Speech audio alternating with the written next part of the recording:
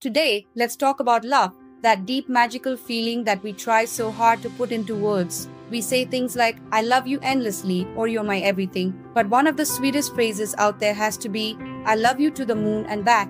It's such a beautiful way of saying, my love for you is endless. But what if I told you there's an even deeper meaning to those words? Did you know that every single day, your heart creates enough energy to drive a truck 20 miles? And over a lifetime, that's enough to travel all the way to the moon and back. It's amazing to think about it, right? The same heart that beats for someone you love creates a lifetime's worth of energy to journey to the moon and back. Such an amazing thing.